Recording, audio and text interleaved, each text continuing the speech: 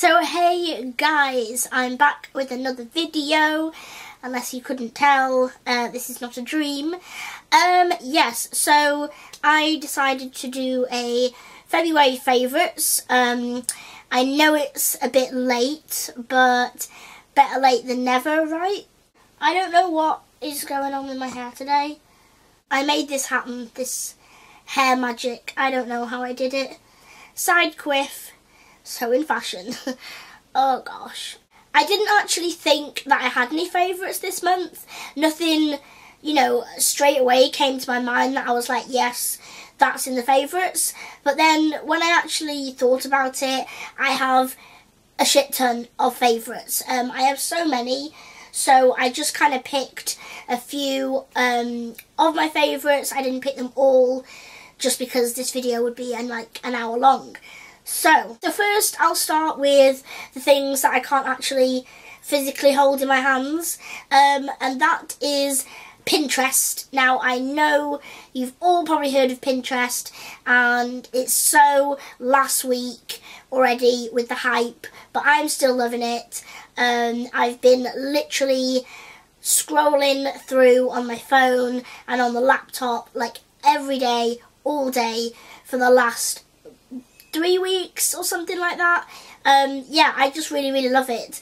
Um, I need to sort my boards out because I'm just kind of like, I more like things than I do repin them just because I'm lazy and I'm just like, like that, like that, like that instead of repinning. Once I sorted my boards out, I will put a link, um, you know, on my main page and in my description bars to my Pinterest so you can follow me because that is not creepy at all. Second thing is Audible. Um, some of you may have heard of Audible, some of you may not, but basically it's audiobooks on your phone or your laptop or your Kindle or your iPad.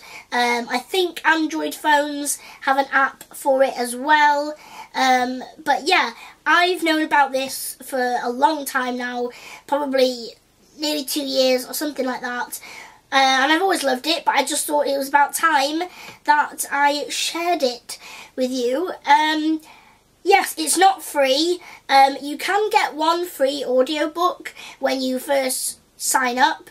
Um, so you do get one free, but then if you want more, you can either buy them for money, you know, one by one, or you can get a subscription service where you pay um, you know, a set amount per month or per year or something like that and you get credits and each audiobook is one credit. I get 12 credits a year with the subscription package that I'm on and I definitely use them all up because I love audiobooks, I love books in general and I do really enjoy you know the feel of a book and reading a book but I don't always get time and I find it difficult to read at night because it'll keep my brain awake I just put my audiobook on at night, either with headphones in or just playing out loud. And yeah, it's just great um, because there's not enough time in the world to read all the books that I want to read, but there is to listen to them. So definitely go check out Audible. The links will be below.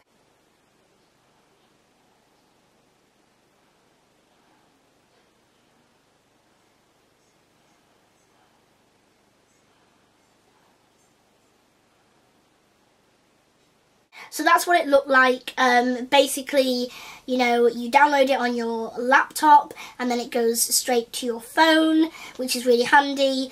I have all kinds of books on here. I have the Hunger Games, uh, I have all the Twilight books, I have um, Fall of Giants, I have Lord of the Flies, which I'm listening to at the moment. Um, but my two favourite books that I just repeatedly listen to all the time, constantly, are Eat, Pray, Love by Elizabeth Gilbert. Um, amazing book, changed my life. Definitely check it out. Um, and Life of Pi by Yann Martel, which, yes, has been made into a movie, but I was reading and listening to the book years ago. I absolutely love it. Amazing. All the books are read out by a human voice, you know, by a person, a real living, I presume they're still living, some of them may have died, I don't know. this has taken a sinister turn. Just great website, go and check it out. Um, love it. My next favourites are actually websites, and I'll just run through these really quickly. You've probably heard of them, but I'm just really loving them at the moment, and I've been obsessively uh, on them all the time. They are PLNDR, Karmaloop, and Nasty Gal. Um, they're all American, and they're really, really cool websites, really cool style, exactly my style. I want everything off all of their websites. Love them so much. I've ordered a few things from each website and I cannot wait to get them. They should be here quite soon. They are from America, so it takes a while, but I'm so excited. Love everything on there and I will be getting a lot of things for a holiday, which is coming up um, soon-ish, which I will reveal more about soon, but for now I'm going to be mysterious and aloof. That's the word, isn't it? Okay, next favourite is this magical piece of loveliness. Um, it's the MUA Pro Brow Palette. Um, and it's actually the first kind of eyebrow palette I've ever used um, which is why I bought it because it was cheap. And I just thought if I don't like it it's not like I've spent loads of money on a really expensive um, eyebrow kit. Um, and yeah I gotta say I absolutely love using um, an eyebrow kit and um, a brush to sort my eyebrow area out because it really does need sorting out. I have the world's worst eyebrows. They just do my head in all the time. Was that a pun? Eyebrows do my head in? I don't know. That may be a pun there. Take it or leave it.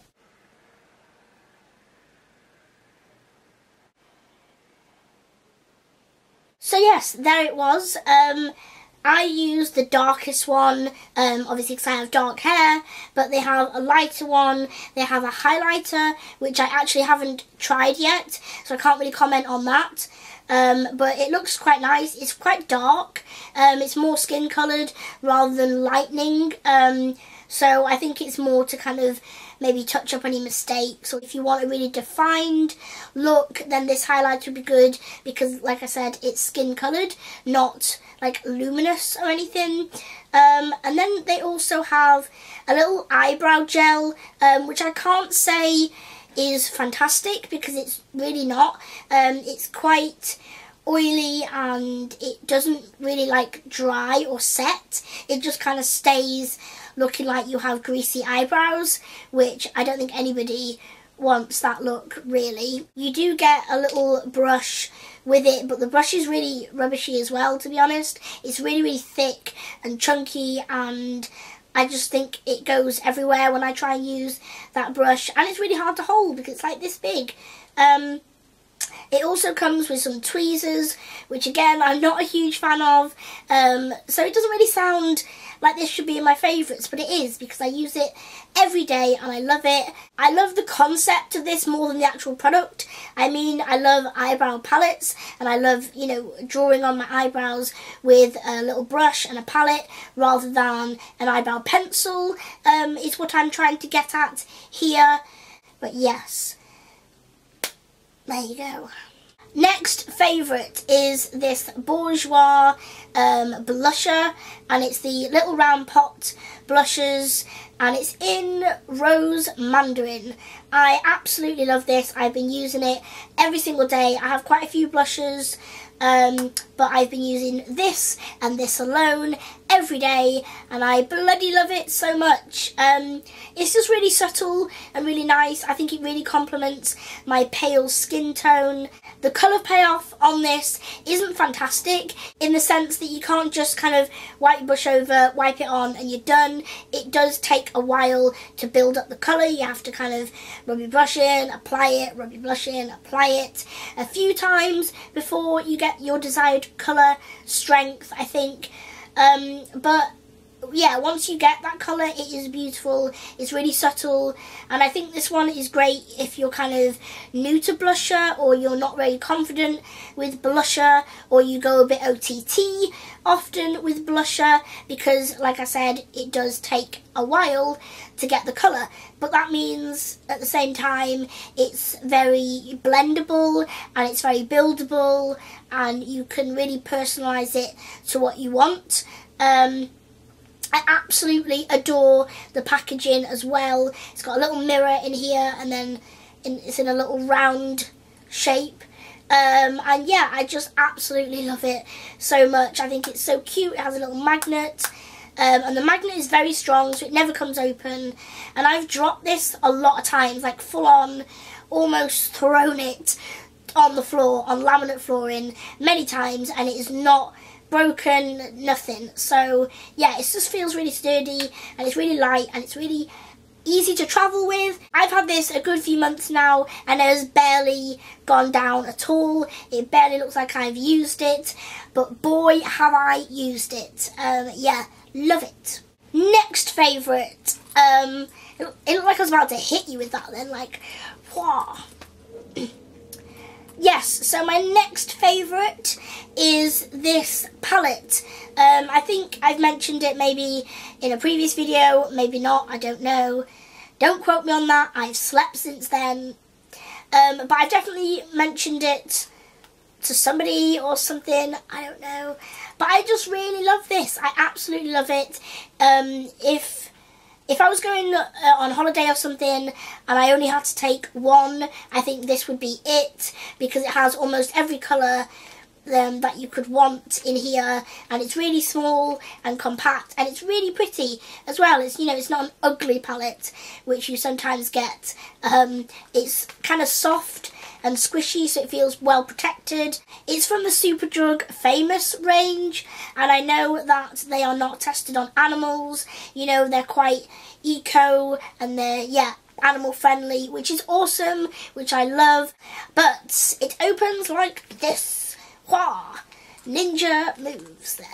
Um, it has a mirror up here and then it has um, two little brushes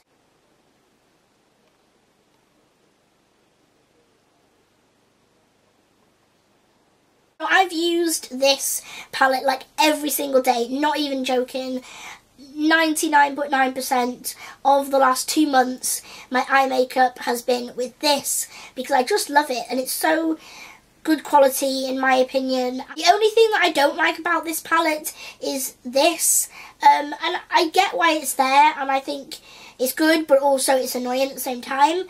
Um, it's this kind of plastic um, with cardboard in it and it says like about the palette and you know stuff like that. It just gives you a little bit of info on the palette and then it's got all the colours and their names here. Um, but I guess the point of it is to protect the um, the colours from getting all over the inside and all over the mirror. But yeah it doesn't like sometimes it doesn't stay open like this and it closes all the time. So when you're trying to do your makeup, it's like flapping around and you're like, ah, too much. I'm actually wearing um, these colours here on my eyes right now. Um, and yeah, I just love it so much. Next one is really, really quick. It's just the Collection 2000 Lasting Perfection 16 Hour Concealer. Um, everyone is harping on about this and I absolutely love it. I got it for the first time um, a couple of weeks ago. Falling in love with it, absolutely a must buy for anyone. I can't see how someone wouldn't like this. It's just perfect. It is so so covering and flattering and it really brightens up your whole eye area. I actually use it um, as a little bit of a primer on my eyelids as well because I get really really red eyelids. Um, I really get red all over my face to be honest. I have quite um, red skin. So this works great on my eyelids, on my spots and just a light smattering on my rosy cheeks. I mean, serious rosiness going on on my face. This is the lightest shade that I use, obviously, because I'm whiter than a corpse. But yeah, I just love this. Oh. Next is this exfoliator, um, and this is actually a sample size. I got it in, I think it was January's Glossybox, maybe December's. I don't remember. I've slept since then. Um, it's by Monu or Monu, M-O-N-U, um, professional skincare, micro exfoliant. Um, yes, it's really, really lovely. You know, the little tiny beads in it are very, very, very fine. Finer than sand even. They feel like, they just feel so, so fine. And they don't kind of dissipate or disappear or melt away or anything. They stay on your face so you can really give it a good old scrubbing. Um, and yeah, I use this at night. Um, I take my makeup off and then I'll put a little bit of this on, you know, my spotty areas where I've got real bad spots and it just works really well and it just feels really, really, really good on your skin.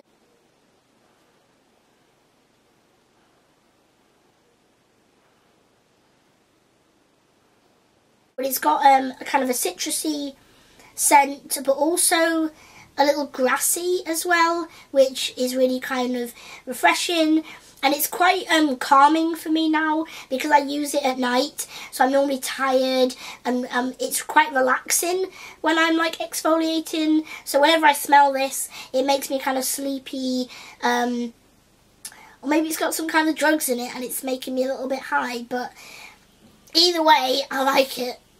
Last but certainly not least is this makeup remover um, cleansing stuff. This is by DHC, um, which I'm not really familiar with that company, or maybe I am and I'm just losing my mind tonight. I actually got this at the Royal Television Society Awards, um, which I won an award at for my documentaries, but we all got a little you know, gift basket, goodie basket, and this was one of the things, and I just straight away took a dislike to it, and I was like, I am not putting that on my face, it looks gross. Um, I was really judging a bottle by its cover um, and yeah I, I think I threw away or gave away like three or four of these bottles and now I'm so gutted that I did because I absolutely love it um, and I just tried it one day I think because I was bored or whatever and I absolutely love it. It is so awesome. Even though I know this is really good for my skin and even though I know that I love it, um, every time I go to apply it, I'm like, Ugh, no, can't do it because it's full on like oil. It looks like cooking oil or extra virgin olive oil or something like that. Um, and yeah, it feels like that as well when you first put it on.